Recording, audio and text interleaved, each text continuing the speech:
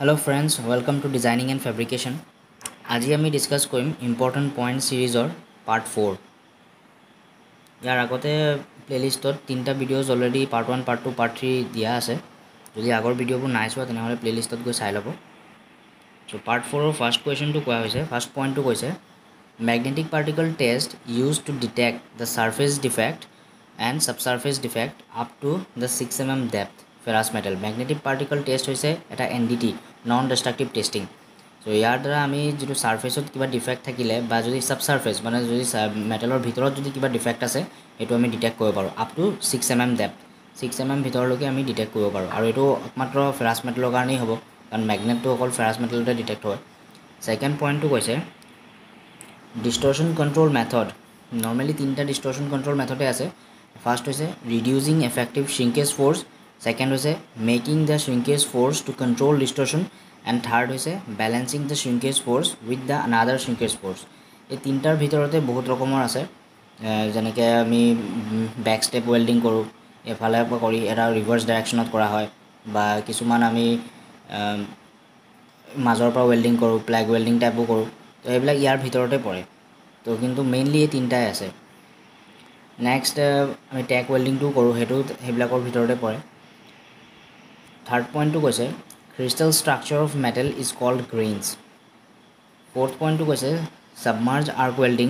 bonded flux and fused flux normally submerged arc ৱেল্ডিঙত দুই ৰকমৰ flux use কৰা হয় যিটো bonded flux and fused flux submerged arc welding এটা ফিউজন ৱেল্ডিং য'ত আৰ্কটো নৰ্মেলি শ্ব' নহয় আৰ্কটো মেটেলৰ ভিতৰত বা ফ্লাক্সৰ ভিতৰতেই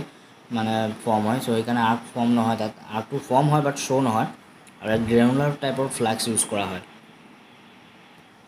ফিফথ পইণ্টটো কৈছে tempering temperature M S mild ষ্টিলৰ one eighty degree Celsius to six fifty degree Celsius six পইণ্টটো কৈছে two types of dip brazing process molten metal bath and molten flux bath seven point কৈছে metal arc cutting and gouging electrode dia is four M M with eye shield shade number fourteen আমি normally বিভিন্ন ধৰণৰ shed number use কৰোঁ যাতে আল্ট্ৰাভাইলেট বা radiation যাতে চকুত নপৰে তো ইয়াত metal arc cutting and গজিঙত normally four M M electrode use কৰা হয় আৰু তাৰ যিটো shade number black গ্লাছৰ shade number fourteen next eight পইণ্টটো হৈছে carbon arc cutting electrode dia is twelve point two M M to twenty five point four M M nine পইণ্টটো কৈছে carbon arc gouging electrode dia four M M to twenty five point four M M normally cutting আৰু গজিঙৰ difference এইটোৱে যে কাটিঙত মেটেলটো কাটি দুটুকুৰা কৰি দিয়া হয় আৰু গজিং প্ৰচেছত মেটেলটো দুটা পিচ নহয় জাষ্ট এটা লেয়াৰ এটা কাটি উলিয়াই দিয়া হয় বাট মেটেলটো দুটা পিচত কনভাৰ্ট নহয় ছিংগল পিচে থাকে।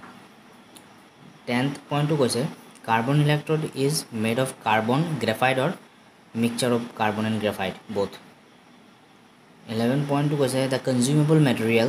is at least three metres away from the cutting operation area সদায় কাটিং অপাৰেশ্যন এৰিয়াৰ পৰা এইবিলাক combustible material actually combustible material যিখিনি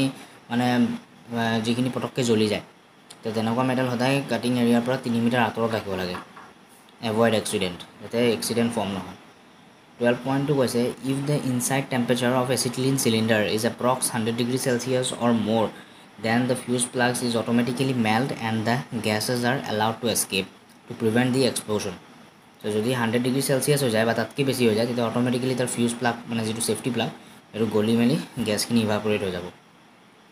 থাৰ্টিন পইণ্টটো কৈছে ব্ৰঞ্জ ৱেল্ডিঙত যদি মাইল ষ্টিল আৰু কপাৰ ৱেল্ডিং কৰে তেতিয়া তাত চিলিকন ব্ৰঞ্জ ফিলাৰত ইউজ কৰা হয়। আৰু ষ্টেইনলেছ ৱেল্ডিং প্লাছ কপাৰ যদি থাকে তেতিয়া তাত নিকেল ব্ৰঞ্জ ইলেক্ট্ৰড ইউজ কৰা হয়। ফৰ্টিন নম্বৰটো কৈছে long arc is used in plug and slot welding for restarting the arc and while withdrawing the electrode at the end of the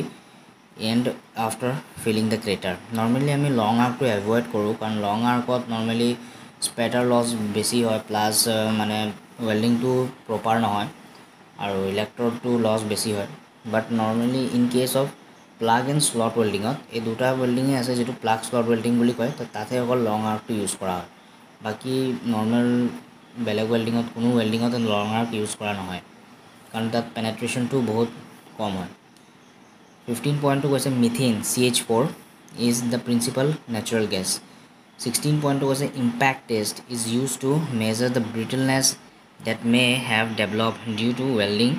আইজড and Charpy তো impact টেষ্টটো হৈছে এটা ডিষ্ট্ৰাকটিভ test ইয়াৰ আগত আমি এন ডি টিৰ কথা ডিছকাছ কৰিছোঁ নন ডিষ্ট্ৰাকটিভ টেষ্ট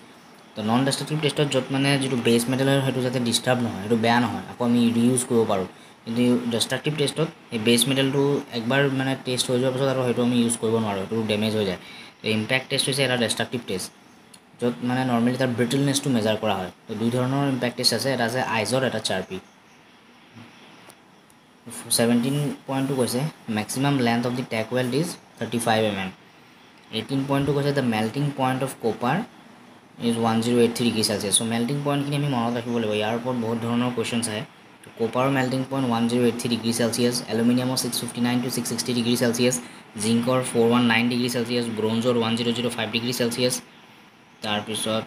ব্ৰাছৰ nine fifty degree Celsius কোবাল্টৰ one four nine five degree Celsius M S mild steel mild ষ্টিলৰ এটা ৰেঞ্জত কিছুমানত পোন্ধৰশ থাকে কিছুমানত পোন্ধৰশ ত্ৰিছ থাকে। So' one five zero' zero' to one five three zero' degree Celsius cast আইৰণৰ one one five zero' degree Celsius lead three twenty seven degree Celsius tin two thirty two degree Celsius আৰু tungsten টাংষ্টনটো হৈছে আটাইতকৈ high melting point metal তো